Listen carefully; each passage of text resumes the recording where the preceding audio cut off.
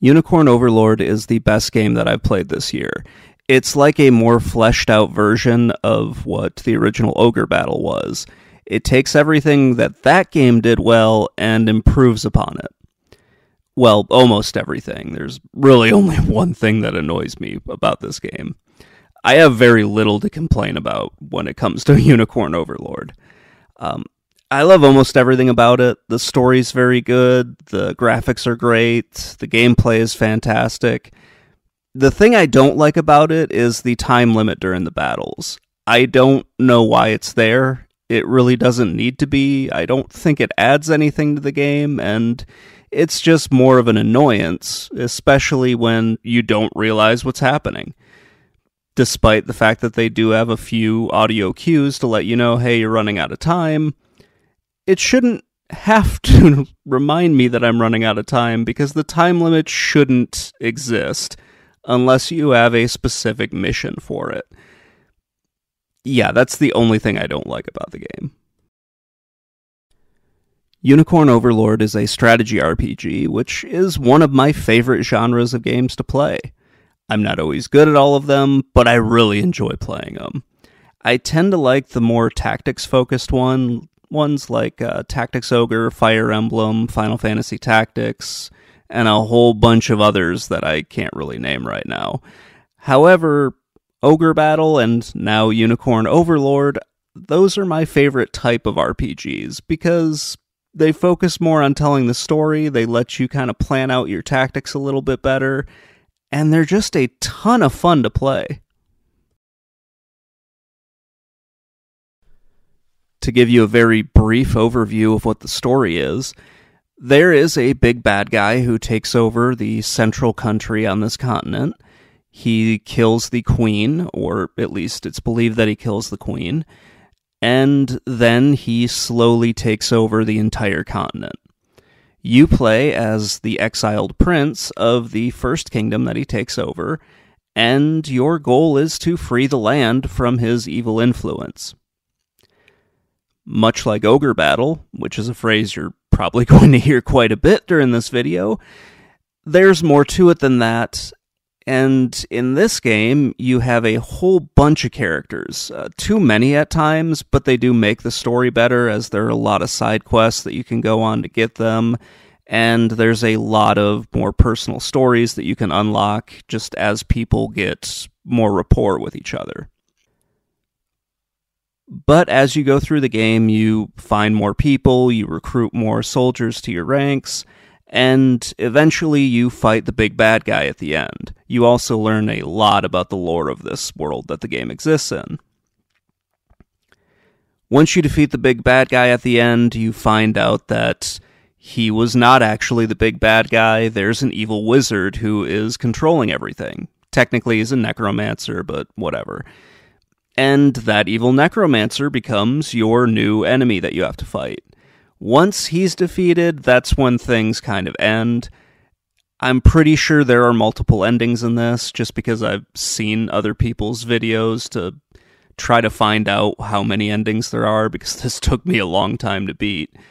And I didn't have time to go through all of them, which is something I might do later on.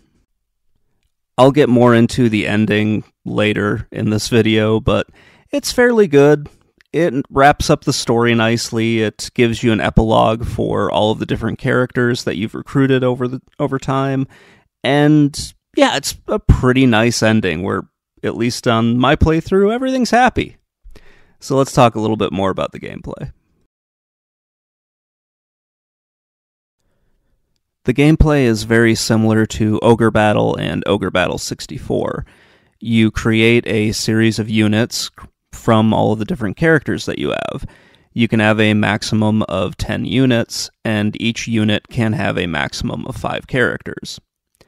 Over the course of the game, you gain more honor, and that will allow you to unlock more units that you can have, and will allow you to put more characters in each unit.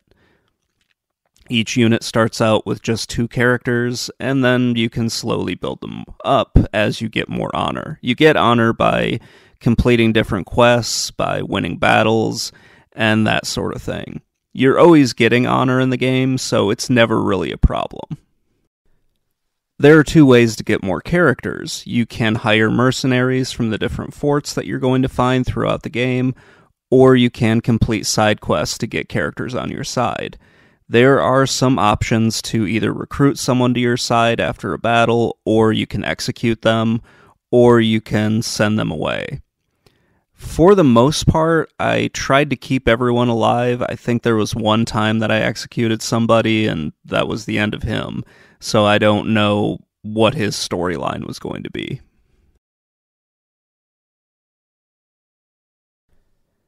As your characters fight alongside of each other, or if they eat together at one of the different inns that you can find, or taverns that you find, then they gain more rapport with each other. As they gain more rapport, their friendship level increases, and smaller stories will get unlocked as you go through. You'll see those on the on the world map as just little hearts that you can walk up to, and then you can you know see a little cutscene of the two characters interacting. Each character has a character class in this game. Most of them can be promoted if you gain enough honor. There's no limit on when you can upgrade them or promote them, so if you hire a mercenary, he stays at level 3, you can still promote him if you have enough honor. Honor is really important in the game because it just lets you do everything with your different units. There is a large number of character classes that can't be promoted, or at least I wasn't able to promote them or figure out how you're supposed to do that. Those characters are specific to like the elf region, so none of the elf character classes have a promotion. None of the bestial classes, so like the were lion, were owl, were bear, and were fox, those don't seem to have promotions to them, and neither do the angel classes. There are a few others that are specific to certain characters that I wasn't able to find a promotion for. So, yeah, that's kind of crappy at first, but I'm guessing if they decide to do DLC, that's something they might add in. On the battle screen, you're basically moving your characters around. I'm sorry, you're moving your units around like a game of chess and each of those units has a specific number of stamina points to them. These control how many battles they can get in, so if you have nine stamina points, that means they can get into nine fights before they need to rest. You also get some items that can give you more stamina. And the stamina points are specific to each unit, so yeah, don't really worry about it. If you run out of stamina, you can just have your character rest, but make sure they're well protected because if they're resting, they can't fight in the battle. If they run out of stamina points, they can still fight in battles as long as you didn't tell it to rest. When a unit loses a battle, they get knocked back a little bit and they have to rest for a certain amount of time. You can see this as like a little time meter that's counting down it almost looks like a clock. The same thing happens when you rest a character, they have a little clock that moves around as well. You can speed these up with items like hourglasses. You get a bunch of different ones, and they just take a certain amount of time off. So like silver is decent, gold is the is very good, and then I think there are a few after that, but I stopped paying attention to those items. Equipment plays a pretty big role in this. You can equip different weapons, armor, and items to your characters. And that's pretty awesome. And it comes into oh gosh, how do I want to put this? It's very important at the very last battle in the game. I'll just skip ahead a little bit. If you didn't equip your main character with the unicorn ring, you can't beat the final boss. So if you were stupid like me and just automatically assumed that it was equipped to your main character, uh, you're going to have a pretty frustrating time trying to figure out why he isn't using the super attack to kill the bad guy at the very end. And it's going to get annoying until you actually find out why, which is because you did not have the unicorn ring equipped to him. The mission objectives are fairly straightforward. On the battle screen, you'll have to capture a certain number of towns, which they'll show and tell you at the very beginning, or you'll have to kill the enemy leader or kill all of the enemies. I wish things were done a little bit differently. Like they could have done something with the time limit where you just need to survive until the time limit expires, but I never encountered that during the game. Or if it was the mission objective, it was survive a certain amount of time or capture these locations. Yeah, I, I don't really know why the time limit's there. It's pretty pointless, in my opinion. After the battle, you can visit the towns that you've liberated and you can buy resources there, or you can visit the tavern if the town is big enough, and you can also deliver resources to that town in order to repair it. This will give you more honor, and it'll also give you a little bonus like certain items, some more money, that sort of thing. I went out of my way to go around to every town in, in the game and repair it just to see what happens, and it really isn't all that great. You just get a little cutscene telling you how great you are. The resources to repair all the towns are everywhere throughout the game, so they're pretty easy to find, and they are specific to each region of the game. This game is gorgeous. I really love just the overall look of it. I love the sprites on the world map and also on the battle screens. I love the way the characters look when you go to the battle screens. I like the fact that they make some of the larger characters a little transparent so you can see what's happening because, you know, some of these characters are pretty goddamn big, and they might, you know, clutter up the screen, especially with five characters in each unit. I love the way the world map looks. It reminds me of some of those games that were initially started on the Super Nintendo and then later ported to the PS1. So something like uh, Tales of Destiny or even Ogre Battle and Tactics Ogre, those were brought over. And yeah, it looks really great. It's far more detailed and more cleaned up than what those games were because, well, this is a modern game. But that was kind of the feeling I got when I was playing this that it looked like something from really like the late 90s, but it was just cleaned up and brought over to a modern console today. The character sprites all look great, especially on the battle screen where you can see them in their full detail. And they've got their little animations and everything. Their attacks look really great. The magical attacks look wonderful. It's just an awesome game. When you go into some of the cutscenes and they use the battle screen ta- uh, graphics, they look really good.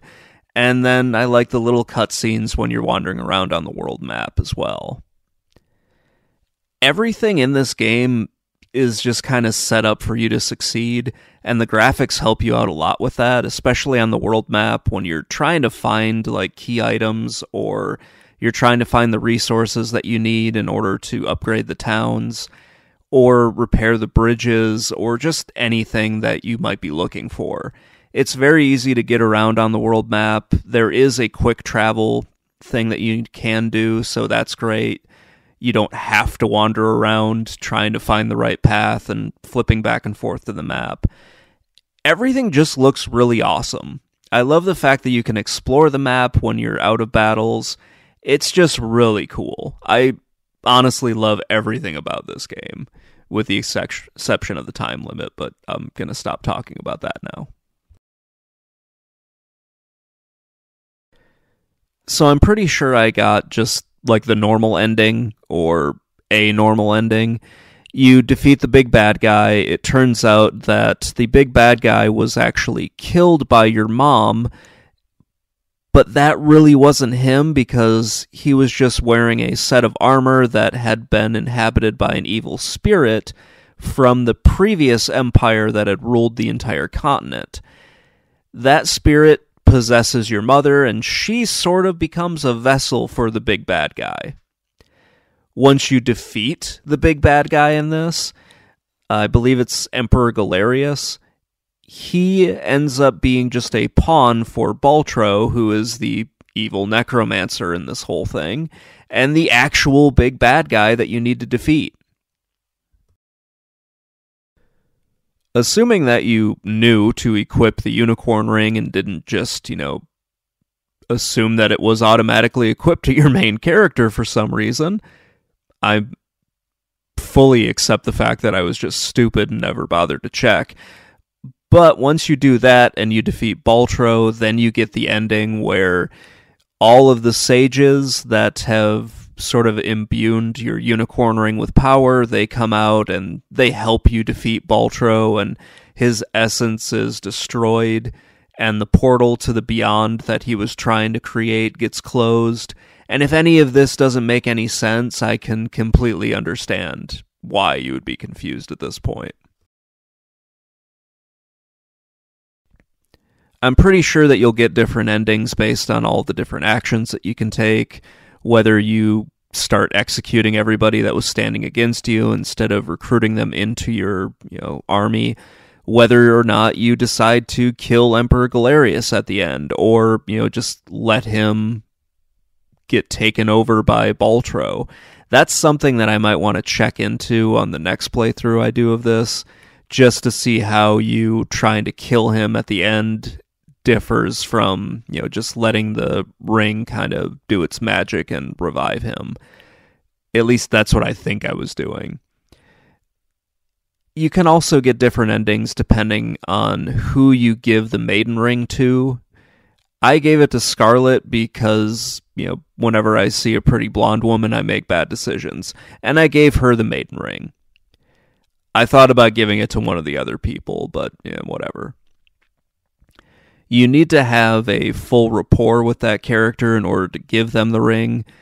So it was either Scarlett, this attractive elf lady, or the super buff gladiator lady. I probably should have given it to the gladiator lady, but, you know, whatever. Once you and the sages defeat Baltro, and assuming that you knew that you needed to equip the unicorn ring to your character and you didn't just take it for granted that it was already equipped, I'm kind of stupid. I'm going to go ahead and admit that. Once you defeat Baltro, then you get the real ending and you get a lot of closure for all of the characters that you've recruited. I'm assuming that if you get more of them, then you'll have a much longer epilogue and you'll find out more of just what these different characters did after the battle you also unlock like new game plus and that is something i might want to try later on. But overall i kind of like the ending and it'd be pretty cool to go back and see just how many endings there are or to look up and see how many people have gotten all the endings.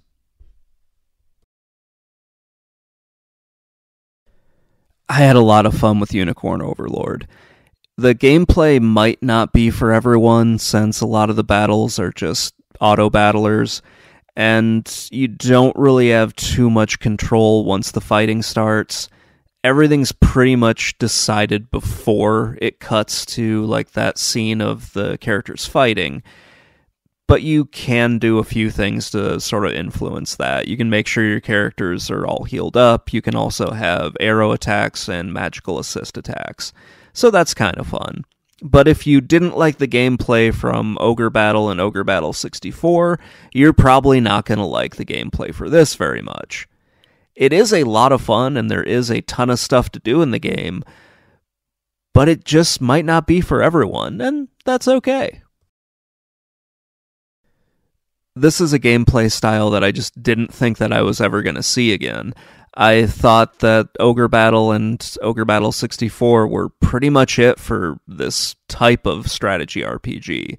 But thankfully, it's still out there, and you know, I really love the fact that it was brought back with Unicorn Overlord.